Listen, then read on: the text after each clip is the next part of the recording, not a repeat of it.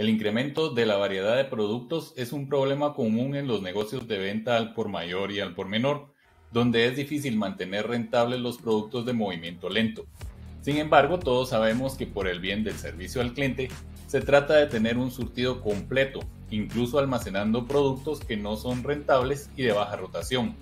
Si bien esto justifica los inventarios de productos de baja rotación, no nos dice mucho sobre cuál es la contribución individual de esos productos a la rentabilidad total.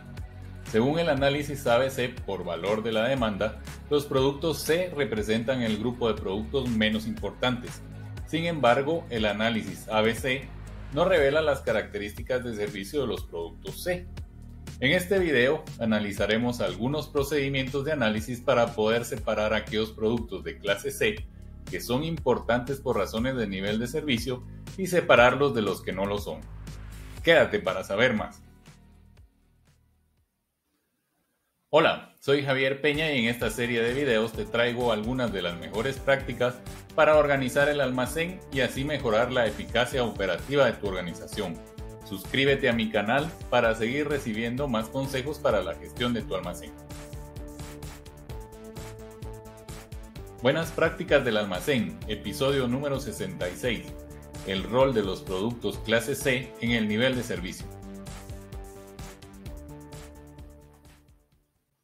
En la gestión de inventarios, la cantidad de stock de cada producto se clasifica de acuerdo con su volumen de demanda, de modo que cada categoría de artículos se puede gestionar con una política de inventarios. Esto es eficiente especialmente con artículos clase C de baja demanda para mantener bajos los costos de tenencia y acarreo. En las empresas con frecuencia se introducen nuevos productos y esto puede cambiar las tasas de demanda de los productos existentes e incluso hace que algunos productos se vuelvan obsoletos. Esto hace que aumente el número de SKUs y puede crear un exceso de inventario con el paso del tiempo. Por esto es importante analizar si existe una necesidad real de mantener todos los productos en el surtido y si se necesita un alto nivel de servicio para todos ellos. En la práctica resulta útil crear análisis automáticos para reducir el tiempo de análisis que se dedique, en especial a los artículos de bajo movimiento como los de categoría C. Un enfoque útil para manejar el uso de los recursos de inventario es diferenciar el nivel de servicio que se desea ofrecer. Esto significa mejorar el servicio cuando favorece la satisfacción del cliente y las ventas, y reducir el servicio cuando se puede ahorrar recursos sin riesgo de perder ningún negocio importante. Para ello se necesita información sobre el patrón de demanda de cada producto, así como los requisitos de servicio del cliente individual. Además también se debe incluir en el análisis la importancia de los productos para la rentabilidad del negocio. En resumen, debemos buscar dos cosas. Reunir información específica del cliente como requisitos de servicio e importancia económica de cada uno Información de logística del producto como patrón de demanda, comportamientos de pedidos. Esta información de entrada nos permite definir políticas de inventario específicas para productos de la clase C, como el nivel de servicio, la ubicación del inventario y las decisiones de surtido. Desde el punto de vista gerencial, en este proceso nos permitirá responder tres preguntas. ¿Existen algunos artículos C que podamos almacenar centralmente? ¿Hay algunos elementos C que podamos descartar por completo? ¿Qué elementos C necesitamos y por qué? Supongamos una empresa que atiende un área de mercado geográfico determinada. Recibe sus productos del almacén central de la cadena o directamente de los proveedores. El nivel de servicio se mide por la disponibilidad inmediata de productos en el almacén de ventas local. Dado que mantener el surtido completo en stock es costoso, el objetivo sería reducir el número de artículos almacenados localmente para disponibilidad inmediata. Esto se hace retirando algunos de los productos de baja demanda hacia el almacén central o incluso descartándolos del surtido. Como esto puede afectar el nivel de servicio, sus efectos sobre los clientes deben analizarse cuidadosamente. La teoría de inventarios nos dice que los productos deben clasificarse de acuerdo con su contribución a las ventas usando la clasificación ABC, categorizando como A los productos de mayor contribución y como C los de menor contribución. A veces se incluyen factores adicionales como la variación de la demanda o la criticidad de la demanda para refinar la clasificación, lo que hace que el análisis sea multidimensional. Gracias al análisis de Pareto, regularmente esperaríamos que los productos A y B representaran el 20% de los artículos y el 80% de las ventas aproximadamente, y pueden controlarse bajo políticas estándar de gestión de inventarios.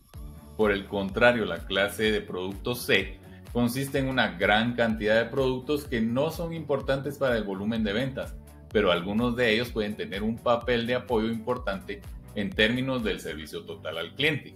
Por lo tanto, deben reconocerse los productos C más importantes desde el punto de vista del servicio.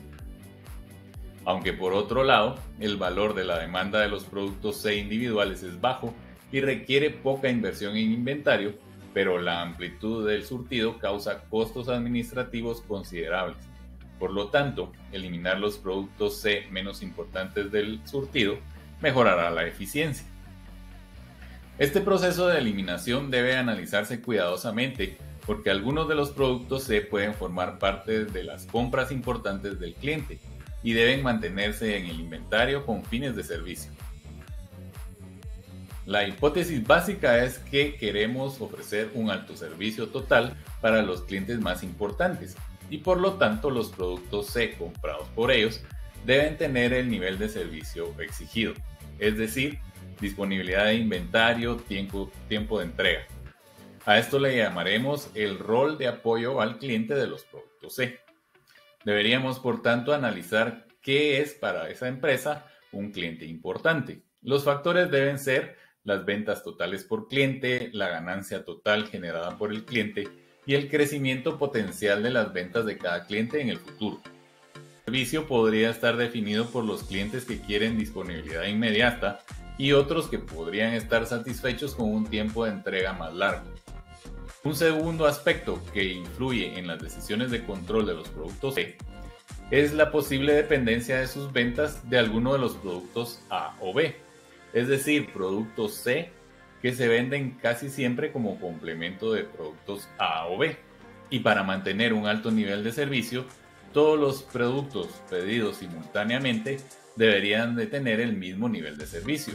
Por lo tanto, si un producto C se ordena principalmente en relación con algunos productos de las categorías AB, su política de inventario debe seguir siendo la de los productos AB con los que se combinan esos productos C. A esto le llamaremos el rol de apoyo al producto.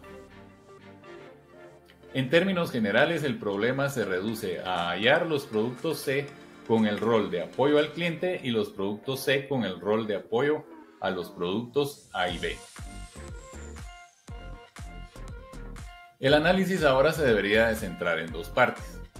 La primera fase es hallar los productos C que son comprados por los clientes más importantes, según las variables que hayamos definido. Clientes con mayor volumen de ventas, clientes más rentables, clientes con potencial de crecimiento y clientes que requieren un nivel de servicio alto, o es decir, entrega inmediata. La segunda fase es hallar los productos C que se ordenan principalmente en relación con algunos productos de la categoría AB su política de inventario debe seguir la de los productos AB en lugar de una política de productos C estándar. Podemos para ello definir dos variables a medir. El volumen de ventas de productos AB en los mismos pedidos con productos C particulares y el número anual de pedidos del producto C.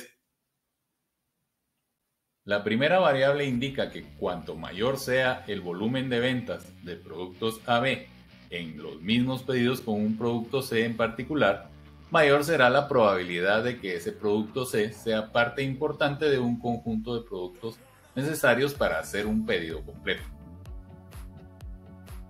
La segunda variable, frecuencia de pedidos, permitirá que un producto califique como un producto de soporte potencial. Si ambas variables tienen valores altos para un producto, debe ser un producto que representa un papel de apoyo al producto.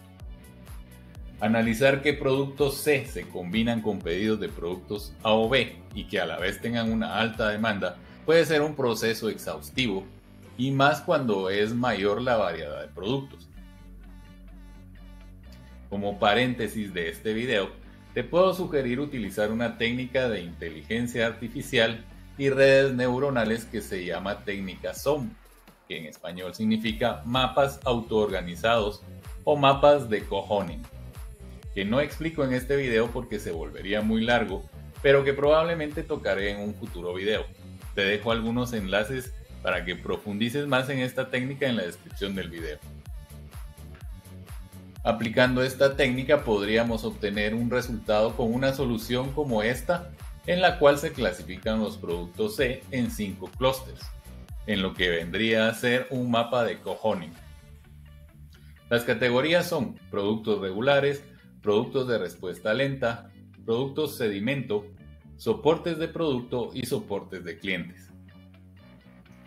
Los primeros tres productos serían productos que quedan debajo de lo que establecimos como línea de base para las categorías de soporte al cliente o soporte a productos AB. Los de respuesta lenta son aquellos para los cuales los clientes no requieren una entrega inmediata y por lo tanto no requieren estar en la tienda y pueden estar en el centro de distribución. Los productos sedimentos son los que tienen poca importancia para los clientes y también las ventas más bajas y por lo tanto se recomendaría que sean eliminados de las listas de productos.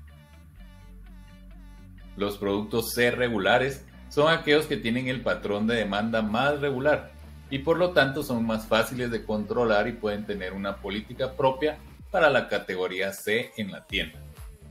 Por último están los que soportan al cliente y al producto, que deberán seguir las mismas políticas de inventario de aquellos productos a los que soportan. En conclusión, es importante poder distinguir aquellos productos C que son importantes por razones de servicio de los que son de poca importancia. Esto se puede hacer mediante el uso de información relacionada con el aspecto de soporte al cliente y el aspecto de soporte del producto de productos C individuales. Como vimos, los productos C pueden agruparse en subcategorías con políticas distintas y en especial se puede hallar una categoría de productos que tienen el potencial de ser descartados sin tener efectos adversos para el servicio al cliente y para el negocio. Esta clasificación también ahorra una cantidad considerable de tiempo de análisis de inventario por parte de los analistas. Dos cosas adicionales son importantes. En primer lugar, aunque hay una serie de técnicas computacionales útiles, no hay que descartar la importancia del análisis preliminar de los datos y las variables que se van a seleccionar. En segundo lugar, la responsabilidad de la interpretación de los resultados permanece siempre en el tomador de decisiones que conoce la situación en su totalidad. ¿Ya habías pensado aplicar este tipo de análisis en tus inventarios? Cuéntamelo en comentarios. Y si este video te fue de utilidad, no olvides presionar el botón de me gusta, compartirlo y suscribirte a mi canal para seguir recibiendo más consejos para la gestión de tu almacén.